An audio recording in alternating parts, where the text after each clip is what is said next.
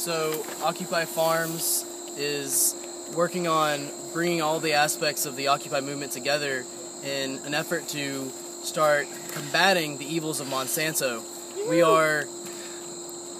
we're, we're focusing mainly on on a concept called Occupy 3.0 or uh, uh, Farming 3.0, which is where the the farming takes place on site, the processing and food processing takes place on site as well. So you have canning, you have pie making, you have yogurts, any anything that, that you can produce on site as far as processing is concerned, you do.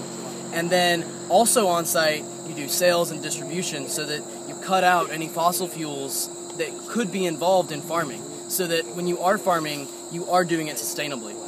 And then beyond that, Occupy Farms itself is a network of farms that's devoted to maintaining and helping to support the Occupy movement, where we are in a position on farms and in various rural areas to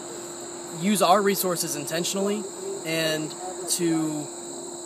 allow those resources to multiply themselves. The occupiers that are down protesting all the problems that we're facing and are being met with huge amounts of brutality over it, they're not in a position where resources are very abundant. So it's one of our goals is to maintain delivering as much free food as possible, especially in the upcoming year as we go into next year's spring, so that every one of our occupied farms is producing tons and tons of extra resources, and that we do start to show that a resource based economy can produce an abundance.